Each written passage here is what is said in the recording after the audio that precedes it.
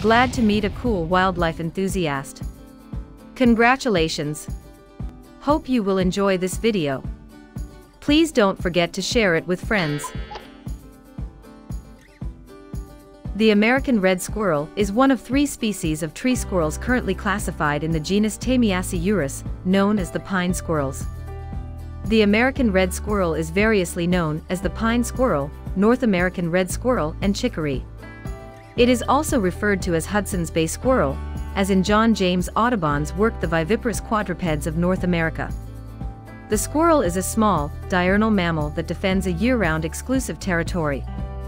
It feeds primarily on the seeds of conifer cones, and is widely distributed across North America wherever conifers are common, except on the Pacific coast, where its cousin, the Douglas squirrel, is found instead.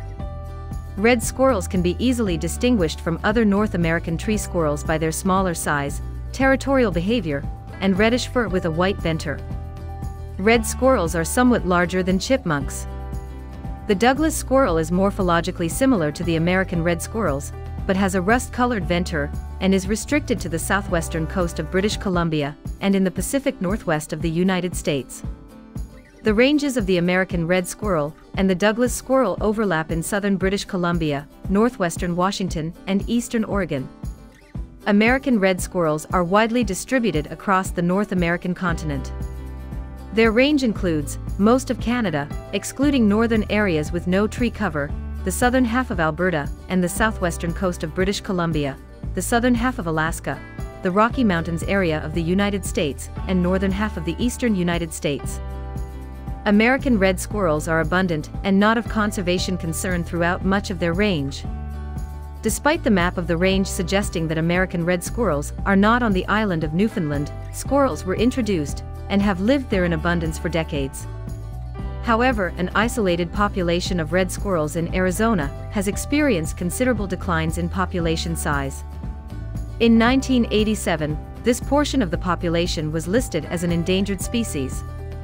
American red squirrels are primarily granivores, but incorporate other food items into their diets opportunistically.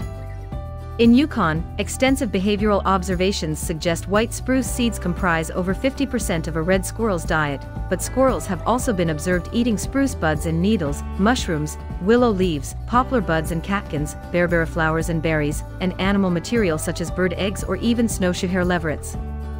White spruce cones mature in late July and are harvested by red squirrels in August and September. These harvested cones are stored in a central cache and provide energy and nutrients for survival over the winter and reproduction the following spring. The fallen scales from consumed seed cones can collect in piles, called middens, up to 12 meters across. White spruce exhibits 2 to 6 year masting cycles, where a year of superabundant cone production is followed by several years in which few cones are produced. American red squirrel territories may contain one or several middens. Gestation has been reported to range from 31 to 35 days. Females can breed for the first time at one year of age, but some females delay breeding until two years of age or older.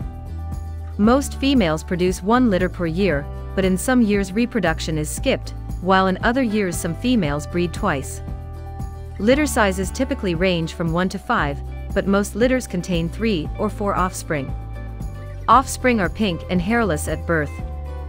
They first emerge from their natal nests at around 42 days, but continue to nurse until approximately 70 days. Nests are most commonly constructed of grass in the branches of trees. Nests are also excavated from witch's broom abnormally dense vegetative growth resulting from a rust disease or cavities in the trunks of spruce, poplar, and walnut trees. American red squirrels rarely nest below ground. Each individual squirrel has several nests within its territory, and females with young move them between nests. Some behavior has been reported within human dwellings using insulation as nesting fodder. Did you like this video? I will look forward to your next visit pretty soon. Take care. Also please add your comments.